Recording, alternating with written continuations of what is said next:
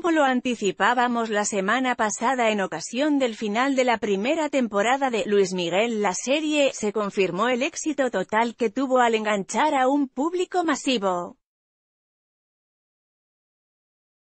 Esto a pesar de tratarse de una plataforma de paga como Netflix, lo cual hace el fenómeno más sorprendente, ya que devolvió a los grandes públicos a la continuidad de sintonía de episodios semana a semana, y aunque por esa falta de costumbre sobre todo de las nuevas audiencias en finales de temporada hubo muchos casos en las redes sociales de molestia, enojo y hasta memes muy agresivos por dejar un final abierto en relación al paradero de la madre del cantante, Marcela Basteri, cuando si hacemos memoria son célebres finales de temporada de seriales ochenteros como los de Dallas, cuando causó furor el conocer la identidad del personaje que se atrevió a dispararle al villano J.R.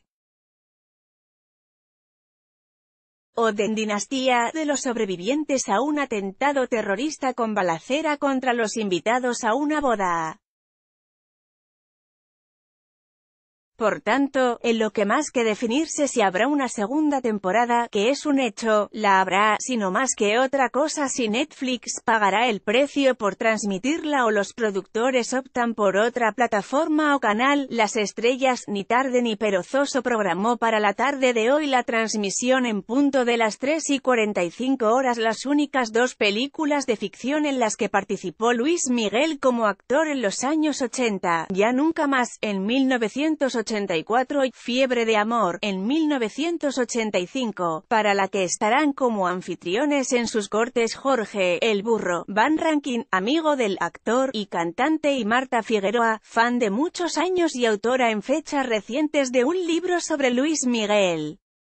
Esta es la oportunidad para corroborar que a diferencia de a Diego Boneta que le tocó foguearse inicialmente en telenovelas infantiles y juveniles como Rebelde, porque era lo que en su momento consumía el público infantil o juvenil, fue más afortunado a Luis Miguel no le tocará aún la fiebre de telenovelas que comenzó en 1987 con Quinceañera y lo más cercano que estuvo al género fue cuando aportó su cover de Amor, Amor, Amor a la telenovela de su amiga Adela Noriega, El Manantial, del 2001, lo que sí nos hubiera gustado más es que en su defecto hubieran invitado el lugar de Al, Burro, o la Figueroa a personas más involucradas en los rodajes de